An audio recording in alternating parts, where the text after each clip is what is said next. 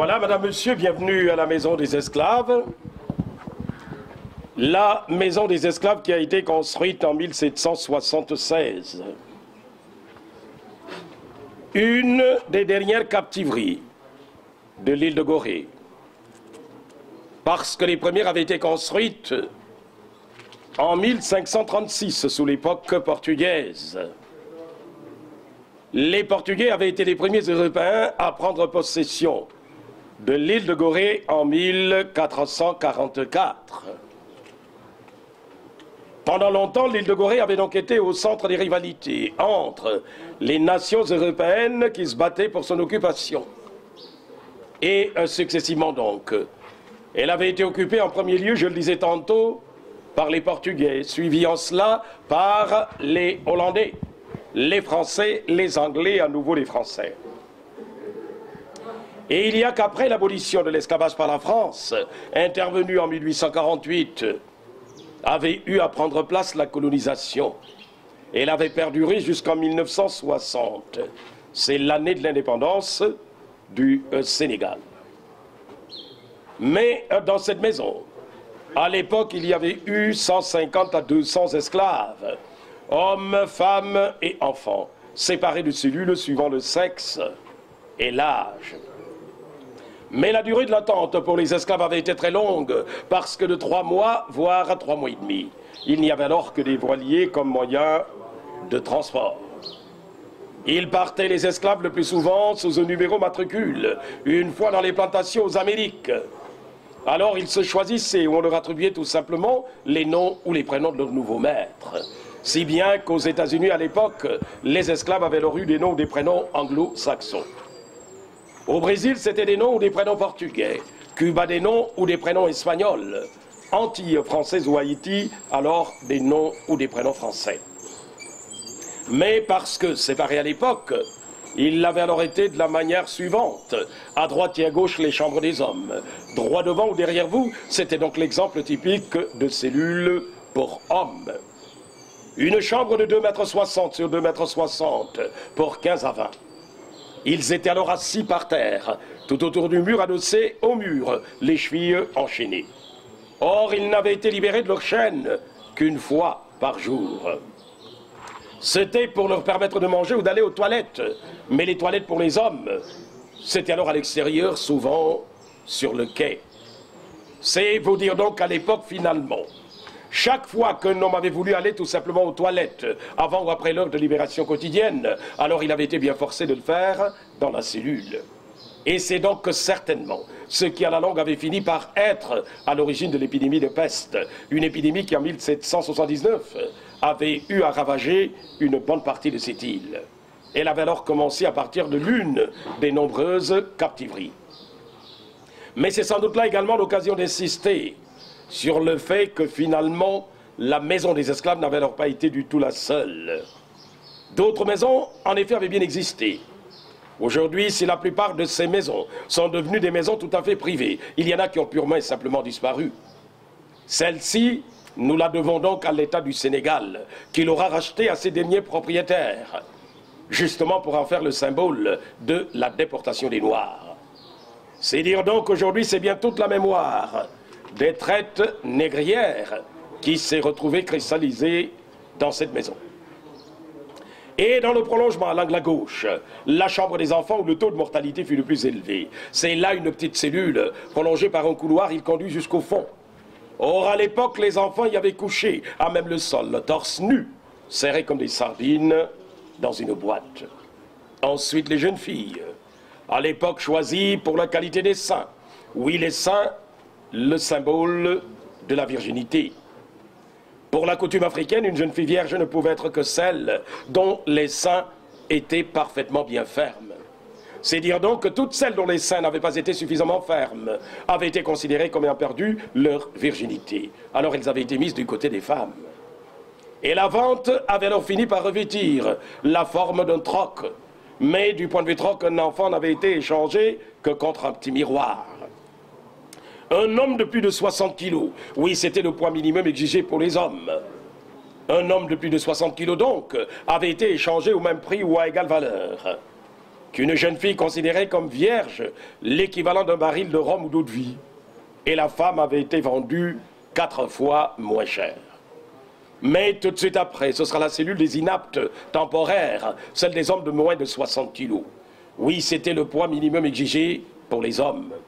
C'est dire donc qu'à l'époque, tout homme dont le poids n'avait pas atteint 60 kilos, eh bien systématiquement avait été mis dans la cellule réservée aux inaptes temporaires, à l'effet d'y être engraissé comme du bétail.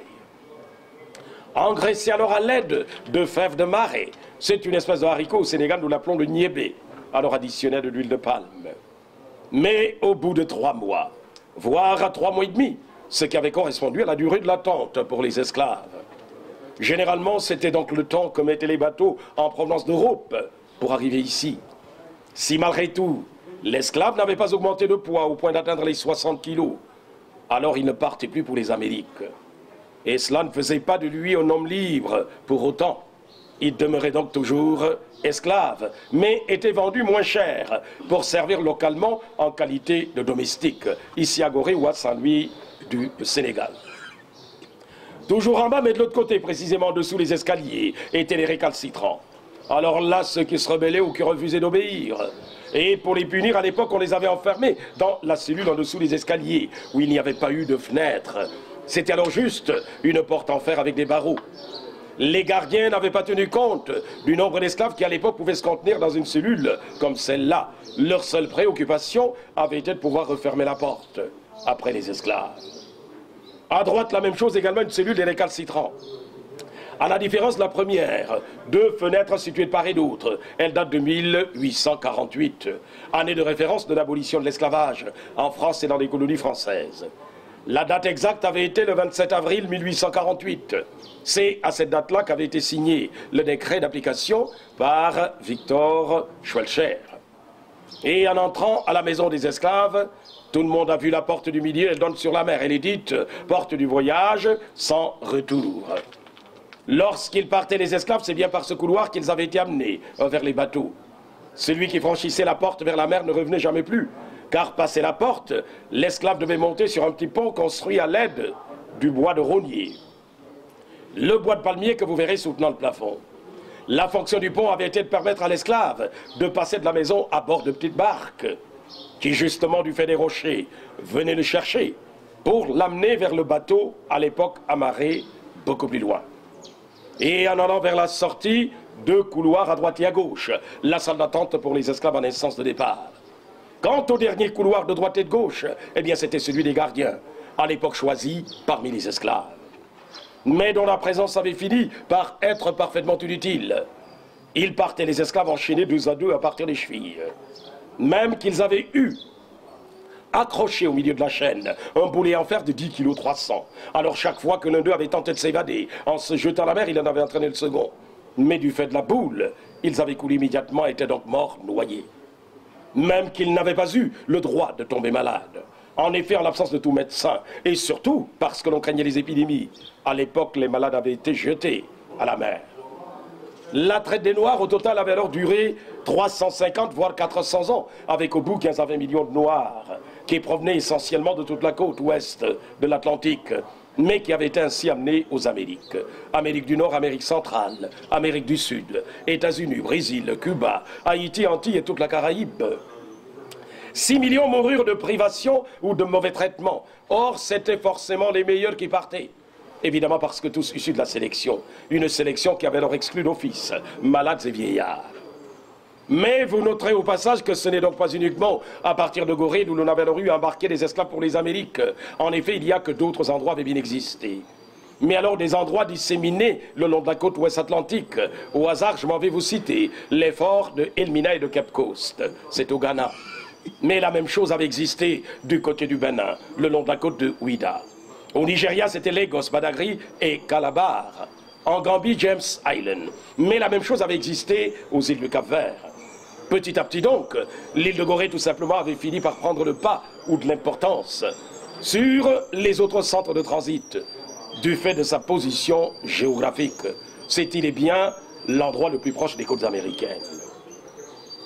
Pour l'étage, évidemment, c'était le logement des marchands. Mais la grande question aujourd'hui est qu'on pourrait se demander comment Oui, comment, à cette époque, avaient-ils pu, ces marchands, s'organiser pour vivre si près avec des esclaves en bas?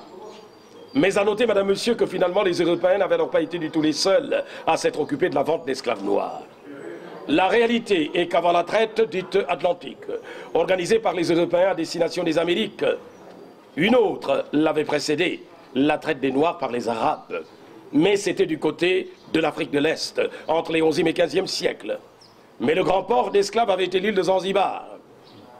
À noter que les esclaves à l'époque traités à partir de Zanzibar avaient leur eu pour destination l'île Maurice, l'île de la Réunion, Madagascar, l'Égypte, l'Asie et même l'Inde. Oui, sans compter la traite dénommée transsaharienne. Elle avait duré du 7e siècle au 19e. Et pour terminer, Madame, Monsieur, il y a qu'aujourd'hui, la Maison des Esclaves est assurément un nouvel espace d'expression de la démocratie et des droits humains. Pour garder cette vision, la Maison des Esclaves se doit d'être pour toujours un lieu de célébration du pardon et de la réconciliation entre les peuples. Évidemment, à partir du bureau, il est bien possible de se faire délivrer un certificat de pèlerinage. Je m'en vais terminer en souhaitant à toutes et à tous bon séjour à Gorée et merci d'être venus. Vous avez parlé tout à l'heure de la réconciliation et les pardons. Alors, je n'ai pas entendu le mot, réparation. Que pensez-vous de tout cela? C'est ma question, c'est ma seule question. Oui, parce que ce sont, euh, disons, euh, les préalables. Et je me refuse évidemment d'utiliser euh, le mot ou le vocable réparation, parce qu'il est complètement galvaudé. Et, donc chargé de pièges, surtout du point de vue du droit. Parce qu'après la réparation, évidemment, on n'aura plus le droit de parler de cela. Or, le but de l'exercice, c'est de pouvoir continuer d'en parler, de l'enseigner donc euh, aux nouvelles générations, afin que personne ne l'oublie, parce que c'est ça le but de l'exercice.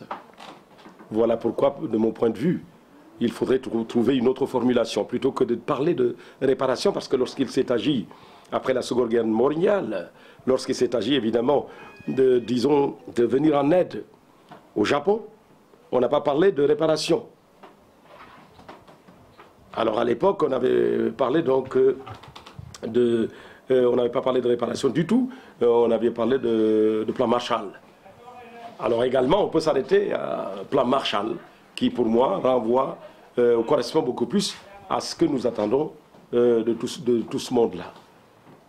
Plan Marshall, évidemment, qui impliquerait tous les protagonistes, tous les pays occidentaux, euh, qui ont eu à, prendre une part euh, dans la commission du forfait, alors on pourrait demander à tous ces peuples, évidemment, de contribuer à la réalisation de projets fédérateurs. Projets fédérateurs pour l'Afrique. Mais pour cela, il faut d'abord qu'il y ait des préalables.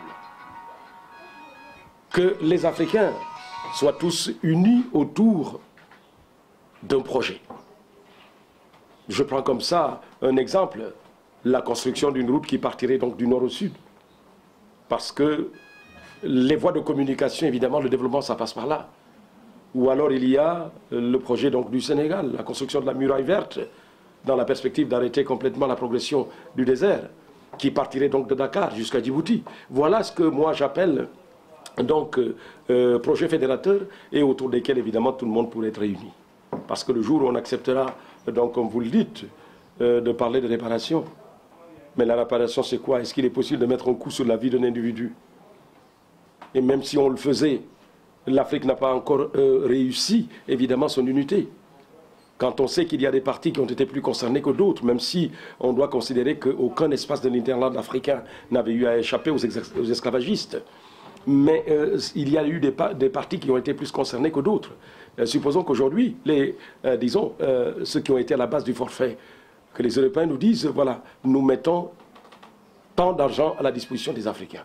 Mais à partir de ce moment-là, quelle va être la clé de répartition Je pense que nous allons tomber à nouveau dans les problèmes, mais pire que ceux-là qui nous assaillent en ce moment. Voilà pourquoi, de mon point de vue, la seule, pour vous rejoindre maintenant, la seule réparation qui vaille, c'est d'aller dans le sens de la préservation de la mémoire. de faire en sorte que les uns et les autres puissent reconnaître leur, part prise, leur part dans la commission du forfait et que la mémoire des victimes et de leurs descendants soit préservée. Parce que c'est de cette manière-là qu'on permettra aux descendants de faire le deuil. Évidemment, euh, tant qu'il n'y aura pas le deuil, eh bien, on n'arrivera pas sans doute au pardon et à la réconciliation. Voilà un peu le cheminement. J'ai voulu prendre un raccourci, mais c'est ça le cheminement nécessaire qui devra donc déboucher sur ce pardon et sur cette réconciliation. Merci. Monsieur le, conservateur, moi j'aurais juste pour rebondir sur ce que vous venez de dire au niveau des réparations euh, et qui ne peuvent pas euh, derrière être. Euh. Moi je pense surtout en coopération au génocide à la Shoah. Les réparations ont été effectuées, ce qui n'empêche pas de commémorer chaque année et plusieurs, fois par an et de se rappeler au souvenir de, de leur souffrance. Donc, malgré tout, est-ce qu'il ne peut pas y avoir une réparation et une commémoration en parallèle? Oui, mais ce que je dis, la réparation ne doit pas, euh, comme vous l'appelez, euh, je vous dis encore une fois que c'est un piège dans lequel nous ne devons pas tomber. Mais euh, trouvons une autre formulation, en tout cas qui soit conforme au droit et qui nous laisse le loisir de pouvoir continuer d'enseigner cela à nos enfants. Parce qu'il ne faudrait pas qu'au détour du chemin, évidemment, on nous fasse comprendre que déjà nous avons mis tant d'argent dans cette opération, Or, la chose réparée, évidemment, on n'a plus le droit d'en parler. Ça, c'est le droit, c'est pas moi qui le dis. Et le droit, il est universel. Voilà pourquoi je suis euh, assez réticent. Euh, quant à évidemment la possibilité pour, en tout cas, les afro-descendants et les Africains d'Afrique d'accepter évidemment cette formulation. Cela voudra dire évidemment que euh, nous aurons mis un prix ou un coût évidemment à la forfaiture il n'y a pas de prix parce que cette, euh, cette chose-là, eh bien, ce qui s'est passé entre le 16e et le 19e siècle, c'est quelque chose euh, qu'on ne peut pas accepter en termes de réparation. Non. Et je répète encore une fois que ce que nous pouvons accepter, c'est d'abord que cela soit considéré comme un crime contre l'humanité. Que ce soit considéré comme partie intégrante de l'histoire du monde. Il ne s'agit pas, comme on veut nous le faire comprendre, de l'histoire des Africains noirs. Il s'agit tout simplement de l'histoire du monde. Or, dans l'histoire du monde, il y a eu des parties belles, mais sans doute également des parties moins belles. Malheureusement, celle-là fait partie de celles qui sont les moins belles. N'empêche qu'il faut que nous puissions tous, sans couleur de peau, nous approprier cette histoire. Voilà, pour vous rejoindre, la seule réparation qui vaille. Merci beaucoup, monsieur le conservateur.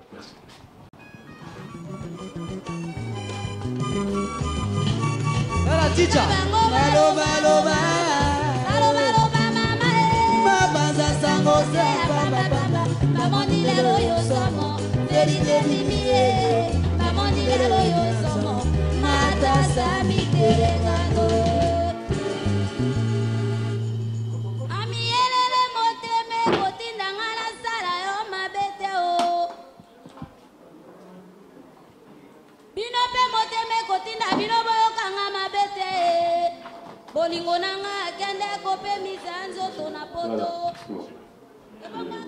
Monsieur les conservateurs, est-ce que ce n'est pas un poids un peu historique de, de remplacer quelqu'un comme Monsieur Joseph Ndiaye? Mais oui, mais certainement, on ne peut pas euh, donc euh, prétendre se mettre à la place de ce monument qu'avait été Joseph Ndiaye. Euh, comme ça, comme si de rien n'était.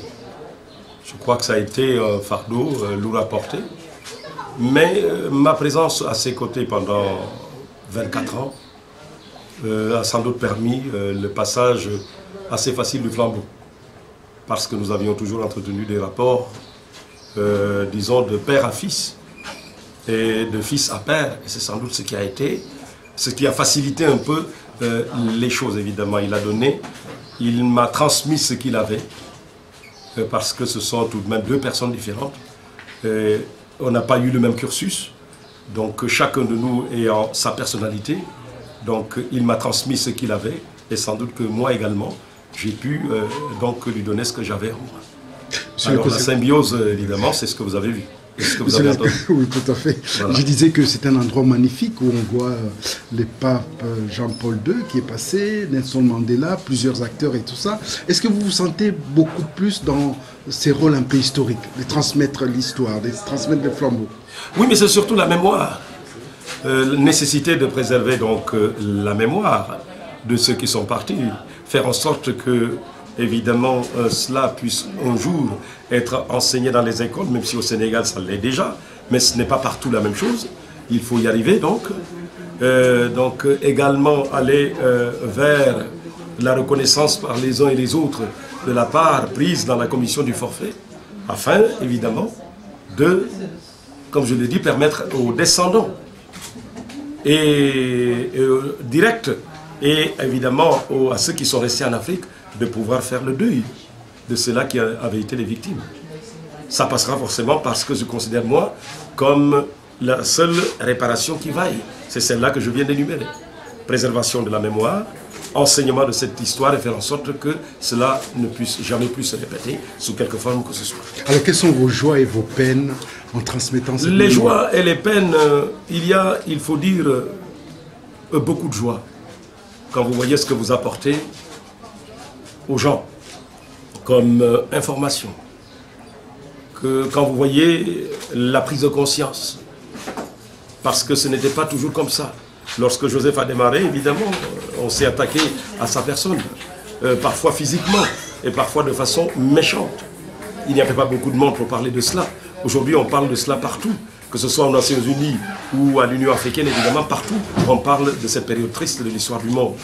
Et c'est sa place la place de cette histoire dans, évidemment, l'histoire du monde, que cette histoire, euh, le jour où cette histoire retrouvera évidemment sa véritable place dans l'histoire du monde, évidemment, on aura apporté notre pierre à l'édifice. Ça, c'est pour parler évidemment des grandes joies.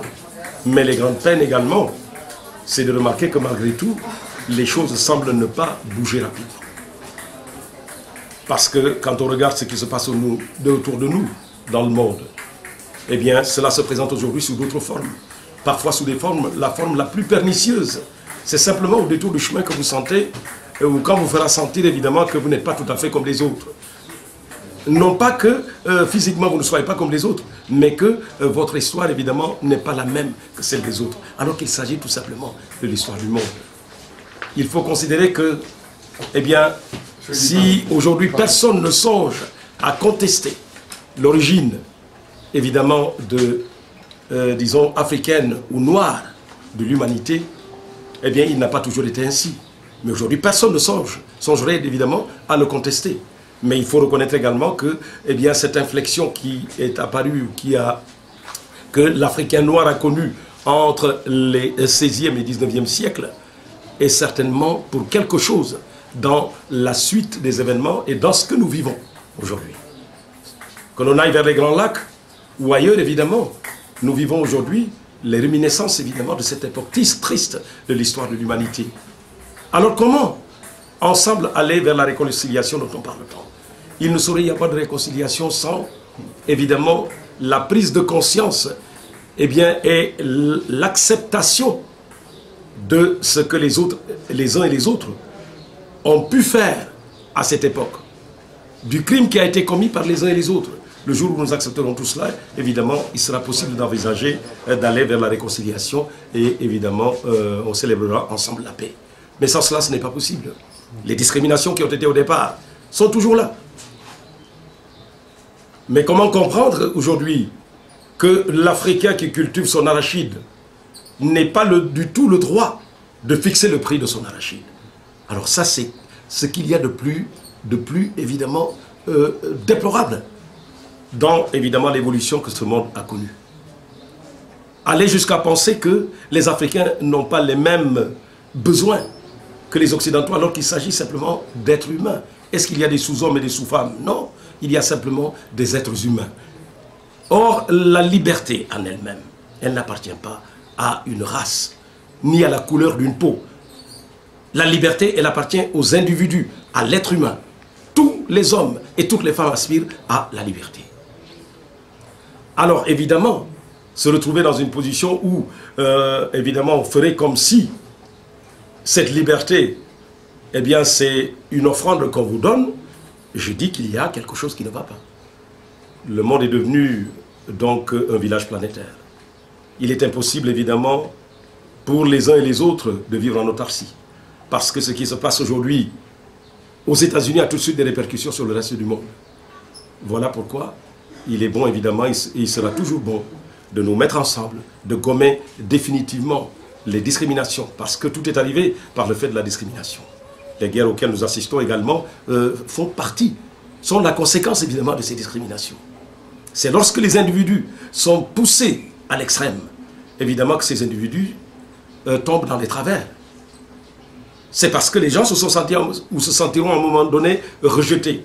Mais lorsque vous n'avez d'autre solution, évidemment, que d'aller droit au mur, eh, qu'est-ce qu'il faut faire? Est-ce que vous devez reculer devant quoi que ce soit? Non, ce n'est pas possible. D'où l'importance, évidemment, de nous asseoir autour d'une table pour que les uns et les autres acceptent la part prise dans la commission de ce forfait. De mon point de vue, je pense qu'il faut y arriver. Et c'est la seule réparation qui vaille. Il est impossible de mettre un coup sur la vie d'un individu. Donc ne parlons pas d'espèces sonnantes et trébuchantes. Allons plutôt vers eh l'organisation et la construction de projets fédérateurs pour les Africains. Le plan Marshall dont on a parlé après la Seconde Guerre mondiale avait permis donc au Japon certainement de se développer. Mais alors pour l'Afrique, pourquoi voudrait-on parler de réparation? Ce sont des termes qui sont tellement galvaudés, même du point de vue du droit. Alors n'acceptons pas cela. Acceptons, par contre, une espèce, la mise en place d'une espèce de plan Marshall. Les Africains réunis autour de programmes fédérateurs verraient évidemment la participation financière de tous les protagonistes. Je veux parler des pays européens, comme de tous ceux qui ont eu à bénéficier des richesses tirées évidemment de l'esclavage et de la traite négrière. Parce que lorsque l'on parle d'implication des Africains dans la traite négrière, personne ne peut, ici aujourd'hui en Afrique, au moment où je parle, nous dire que voilà un immeuble donc qui est le résultat ou qui a été construit euh, partir évidemment de la richesse accumulée pendant la traite négrière. Mais quand vous allez à Nantes, les vestiges sont là-bas. mais non, attendez, euh, vous allez aux États-Unis, évidemment, on voit ce que le développement qu'il y a eu. Et donc, c'est pour dire que il y a certainement une partie qui a eu à bénéficier plus que l'autre. Non pas, évidemment, euh, une volonté, euh, disons, de culpabiliser, culpabiliser qui que ce soit. Mais de mon point de vue, je crois qu'il y a lieu de nous asseoir autour d'une table pour aborder toutes ces questions. Il est heureux aujourd'hui que les Nations Unies euh, donc, soient allées vers la construction de mémorial à l'intérieur même du, siège des Nations Unies à New York. Et ce mémorial va être sans doute inauguré au mois de mars prochain, si tout va bien. Alors également au niveau de l'Union africaine, euh, depuis 4 ans, nous travaillons sur le projet euh, du mémorial de l'Union africaine qui va englober évidemment toutes les formes de violation des droits humains, y compris donc le, génocide, l'esclavagisme et la traite négrière, euh, l'apartheid et les nouvelles formes apparues depuis le printemps arabe. Voilà un peu ce qui va être fait au niveau euh, donc, euh, de l'UNESCO. Il y a eu des sessions, euh, pardon, au niveau de l'Union africaine. Il y a eu des sessions consultatives qui ont été déjà organisées à Kigali pour le génocide, au Sénégal, à Dakar et à Gorée donc, pour l'esclavagisme, et donc à Johannesburg pour l'apartheid. Et nous avons, à l'époque, disons l'année dernière, nous avions combiné cette réunion donc, destinée donc, aux gens du MENA pour qu'ils puissent également euh, eux, discuter évidemment et accepter évidemment les, euh, euh, les termes de référence évidemment de ce que devra être ou des contenus qui devront figurer donc au mémorial de l'Union africaine qui va être construit et réalisé donc à Addis mais monsieur le conservateur, on sait très bien que l'Union africaine, c'est une coquille vide, donc je ne vais pas m'attarder là-dessus. ils font des promesses vraiment alambiquées, parfois des paroles en l'air qui ne tiennent pas. Mais je voulais revenir un peu ici à Dakar pour dire, vous avez la possibilité de, de, rencontrer beaucoup de groupes et aujourd'hui c'était avec des journalistes. Quelles sont vos attentes par rapport à cette visite qui a eu lieu il y a, quelques heures? Mais le rôle du journaliste va être sans doute un rôle déterminant. Ah, je compte bien là-dessus. J'espère que vous allez vous faire l'écho évidemment de ce que euh, nous nous sommes dit ici et des discussions que nous avons eues. Et que je pense qu'au sortir d'ici, eh bien, il y aura eu des articles, il y aura évidemment des émissions qui devront être organisées autour de ces questions-là, des questions liées à la discrimination et à la traite négrière. Parce qu'on ne doit pas considérer que ce qui s'est passé entre les 16e et 19e siècles, euh, c'est quelque chose, euh, disons, qu'il faut euh, jeter donc au canal grec. C'est vrai que c'est le passé, mais le passé doit éclairer le futur. Et comme le dit donc le professeur Tchoub, eh bien, le miroir ou le rétroviseur ne permet pas donc au conducteur simplement de contempler ce qu'il a dépassé, euh, disons les belles filles ou les belles femmes qu'il a dépassées en chemin. Parce que le rôle du, rétroviseur, c'est certainement de prévenir également l'accident. Or, l'accident, ce n'est pas toujours derrière, parfois c'est devant. Voilà un peu euh, l'image par laquelle je voudrais terminer euh, mon propos en espérant évidemment que tout le monde tirera profit évidemment de ce que nous venons de nous dire. En tout cas, monsieur les conservateurs, nous vous remercions vivement de nous avoir reçus. Roger Bongos euh, d'Afrique Rédaction et Freddy Moulongo des Réveils FM International. Euh, sachez que nous serons l'écho euh, de, de, votre de, votre, de ces lieux de mémoire, mais aussi par rapport au travail que vous faites que nous estimons un travail vraiment euh, de mémoire pour que non seulement que nous, n'oublions pas, mais que nos enfants et ceux qui viendront après ne puissent pas oublier ce que nos ancêtres ont vécu en ces lieux. Mais je vous remercie. Il faut que cela soit enseigné dans les écoles. Au Sénégal, évidemment, il y a eu, après euh, la criminalisation de euh, la traite négrière et de l'esclavagisme, il y a eu l'inscription, évidemment, dans les curricula des écoles de cette page triste de l'histoire du monde il faudrait que euh, ce soit euh, fait au niveau de tous les États, qu'il y ait donc euh, cet engagement des chefs d'État. Tantôt j'ai parlé de l'Union africaine, il faut donc cet engagement des chefs d'État au niveau de l'Union africaine pour évidemment concrétiser cette volonté des peuples de voir cette histoire donc connue par tous et de faire en sorte évidemment de, que cette inflexion n'ait pas existé et ne soit pas arrivée pour rien. Merci beaucoup. C'est moi qui